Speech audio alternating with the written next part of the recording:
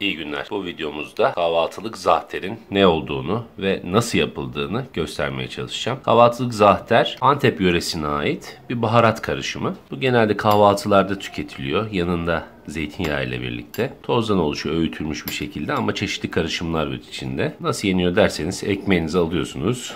Zeytinyağına batırıyorsunuz. Ve ardından da zahterin içine batırıp bu şekilde yiyorsunuz.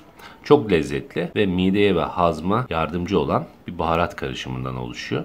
Şimdi bu nasıl yapılıyor? Hadi ona bir bakalım. Zahter'in karışımlarına gelince 11 adet karışımdan oluşuyor zahter. Bunların içinde nane, sarı leblebi, susam, çörek otu, kekik, kimyon, pul biber, sumak, karabiber, tuz ve ana malzemesi de karpuz çekirdeği. Karpuz çekirdeklerini ayırdıktan sonra yıkıyorsunuz. Daha sonra da biraz kurutup çok fazla değil sadece suyunu kurutup daha sonra karışımda kullanacağız. Evet öncelikle çörek otu, susam ve karpuz çekirdeğini kavurmak üzere ayırıyoruz. Evet şöyle en büyük gözü kısık ayarda tavamızı yerleştiriyoruz. İlk önce karpuz çekirdeklerini tavamıza koyuyoruz. Evet, yaklaşık 10 dakikadır kavuruyoruz kısık ateşte. Daha bu dün kestiğimiz karpuzdan ayıkladığımız çekirdekler olduğu içleri yaş. Öğütülecek kıvama gelene kadar kavurmamız gerekiyor. Hatta kavrulurken de kendine has bir koku yayılıyor etrafa. Çok güzel bir koku. Hatta kavrulurken bazı çekirdekler patlıyor bazen. Onda dikkat edin. Evet kavruldu. Şimdi bunu soğuması için ayrı bir kaba koyacağız. Burada biraz soğumaya bırakacağız. Şimdi susamımızı koyuyoruz tavamıza. Onu da kavuracağız yine aynı şekilde. Rengi koyulaşıncaya kadar kavuracağız bunu. Çok fazla kavurmayacağız. Zaten hemen koyulaşmaya başlıyor susamlar. 270 gram leblebi için 75 gram susam kullandık. Şimdi oraya çörek otunu ilave ediyoruz. Susamlarımız renk değiştirdikten sonra. Evet kavruldu. Bunları da soğuması için kaba alıyoruz.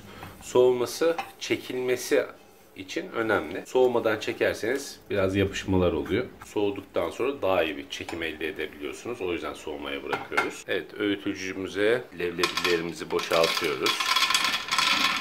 Toplam 3 paket ilave edeceğiz. 270 gram olacak toplam.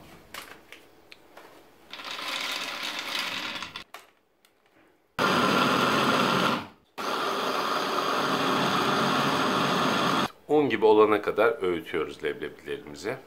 Şimdi bizim tamamlandı bir bakalım. Şimdi başka bir kaba aktarıyoruz öğüttüğümüz leblebileri. Soğuyan karpuz çekirdeklerimizi tekrar öğütücümüzün içine atıyoruz.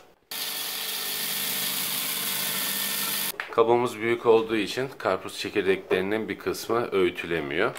O nedenle şöyle bir elekten geçireceğiz. Kalanları da havanda döveceğiz boşalttık. Şimdi buradan tozları aşağı geçiriyoruz. Kalan kısmı da havanımızın içine koyuyoruz. Havanda döveceğiz.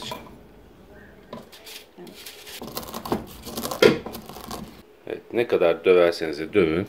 Çekerseniz de çekin. Muhakkak süzgeçten geçirin bunu.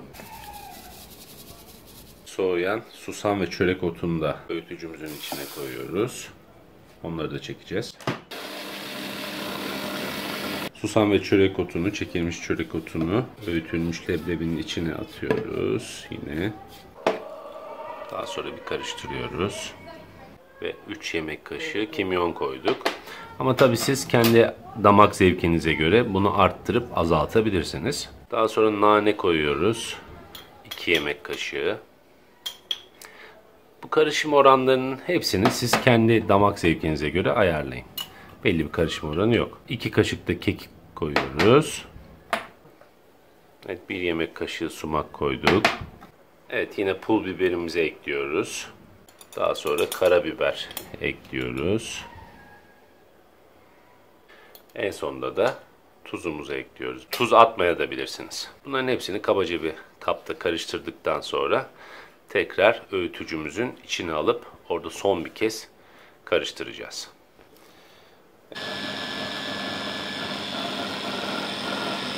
Karışımımız tamamlandı. Kahvaltılık zahterimiz hazır. Afiyet olsun. Videomuzu izlediğiniz için teşekkür ederim. Bir başka videoda görüşmek üzere. Hoşçakalın.